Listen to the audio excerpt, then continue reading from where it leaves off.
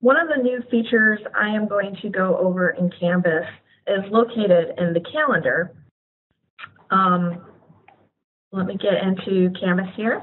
Um, up at the top of your menu, you have calendar items. Um, the new feature allows you the ability to customize your calendar course colors.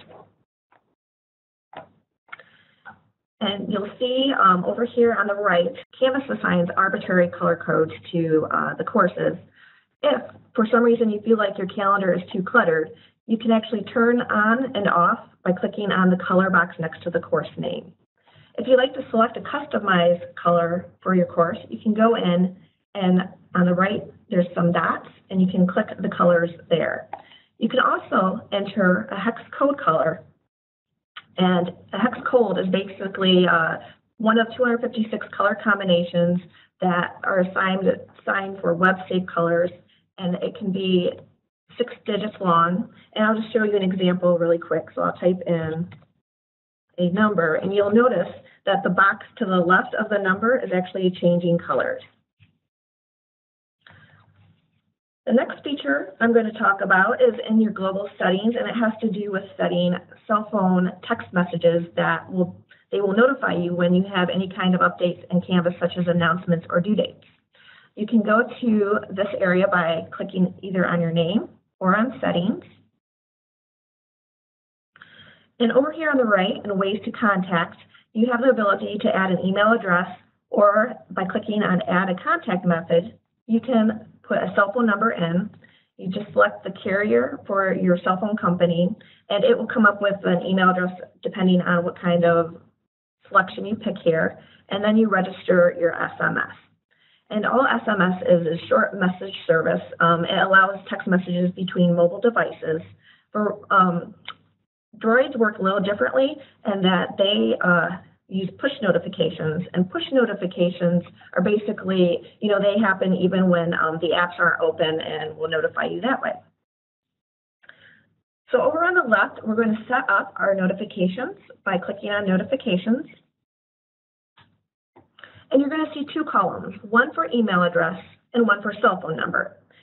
And this is great, especially if you want your students to be notified of announcements when you post them. You can uh, let them know that they can enter an email address, their personal email address, or enter their cell phone number, and they can be notified of announcements and due dates. They can be notified right away, daily summary, or by a weekly summary, or you can turn off any notifications by clicking the X. And that's basically all about with the notifications. So now I'm going to pass this over to Rita. Thank you, Holly. Next, we'll talk about your your personal settings for uh, or your course settings. So click on your course. On the left-hand side at the bottom, we're going to click on settings.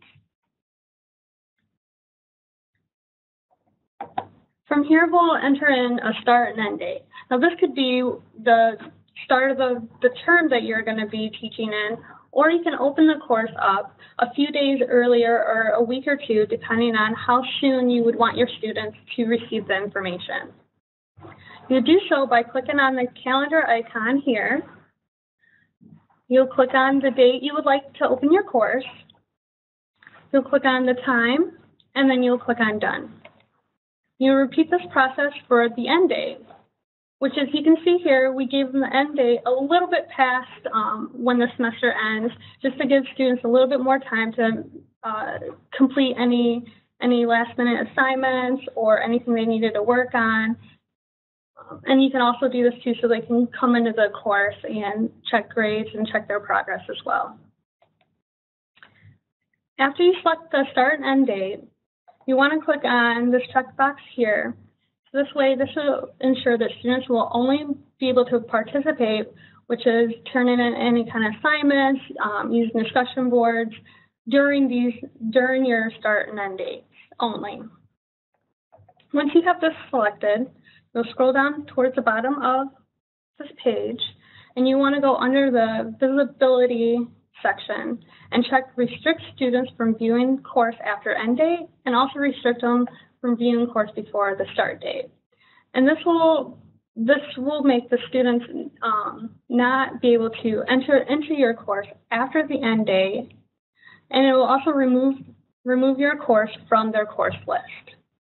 This is a good way to still have your course um, be open to you to view and to use for the future, but this way the students won't have that on their list anymore, and they will not be able to access your course um, to either turn anything in or um, to check their grades. It, it, it just won't um, appear on their list. And while we're still here, I'm going to go ahead and click under more options to show you there, there's some more options that you can click as well. As you can see, there are several options to choose from, but today we're just going to focus on disabling comments on announcements. It's, it's important to know by disabling comments on announcements that um, students will not be able to comment on them, which if they do comment on an announcement, it will show to the whole class. So you might want to consider using this option um, so this way, there's not a lot a lot of uh, comments that are be happening on the announcements. You might want to push that to um, possibly a discussion instead.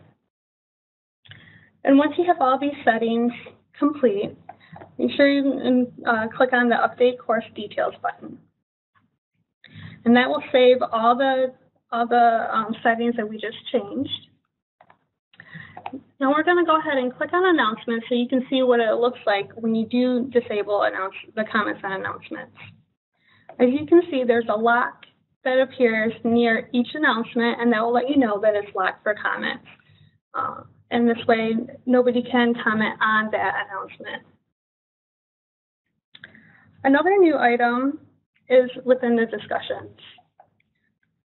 So we're going to move on to discussions next. And this is a like feature, which is similar to the like feature in Facebook.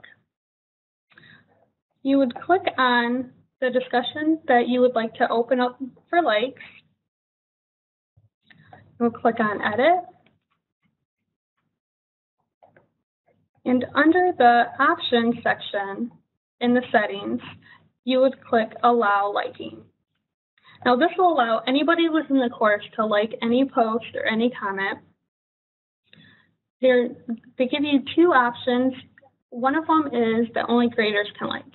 So this would be um, yourself, and if you have any TAs in your course, you you would be the only ones that can uh, that would be able to like a comment. But please keep in mind that by doing so, everybody in the course will still see the number of likes that each post receives.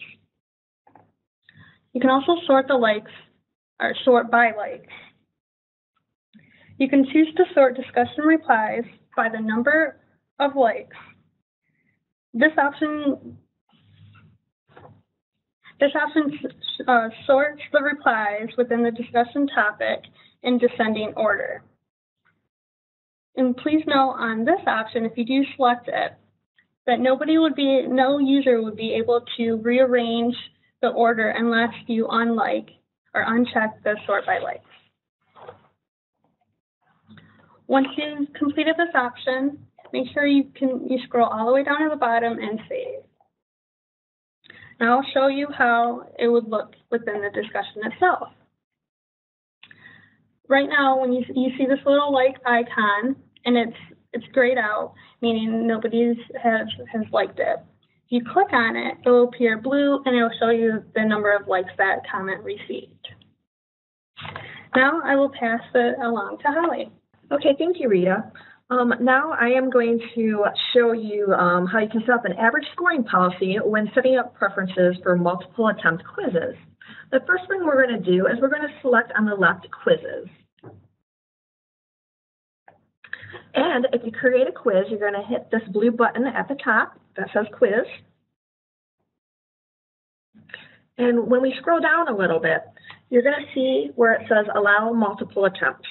Um, you may wonder why you would use something like multiple attempts on a quiz. Well, multiple attempt quizzes are usually low-weighted quizzes. Um, they test the student's knowledge for the course, on the course materials to make sure that the students understand those course materials. So now when we click on um, multiple attempts, and another thing to keep in mind is if you pull your questions too from a quiz bank, um, the quiz bank will randomize the questions And so then the students aren't taking the same quiz twice. So under allow multiple attempts, you'll see quiz score to keep. Along with the highest and the latest score, we now have the option to select the average score. And that will just average among the multiple quizzes that the student may take. And now I'm going to pass it off to Mike. Mike, what kind of new features do you have for us? I'm quickly gonna go over differentiated assignments and how that affects, um, well, things like honor courses. Um, so you can set up an assignment that only one student or one section has to do. So I'm gonna get out of the quiz, cancel, go into assignments.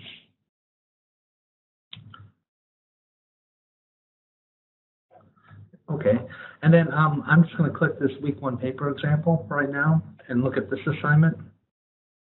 You'll notice under edit, um, one of the new options for differentiated assignments is the assign to. Now, by default, this will go to everyone. But if you had different sections, um, you could choose by, by section. So if you had an honor section or if you had just, um, multiple sections in one master course cell, you can actually go ahead and um, have an assignment that's due only to the one section, or go ahead and, and do it by individual. And what will happen is, in the grade book, the assignment will still show up on your grade book, but it'll gray out anyone that has not been assigned and has not been assigned to. So, if you only, we stick with the honors example, if you only had an assignment for an honors section, everyone else in your course will be grayed out. Um, it's nice too because it'll also um, every if you do multiple, so you could also choose multiple, multiple sections or multiple people. So I can add a second one in here that goes to like a different section. So this assigned to would be the first section, the next one would be the second section with a different date. Um, so you can kind of control different variables here. When you look at the calendar, you'll notice that each of the each of the assigned twos will have their own number. It'll state the the title of the assignment with a number next to it that'll represent each of the assigned two variables that you have out. So you might have weekly paper number five with a, with a, a number next to it, like for one, two, or three, depending on how many different times you did to add and assign to. So that is new, but also a very needed feature.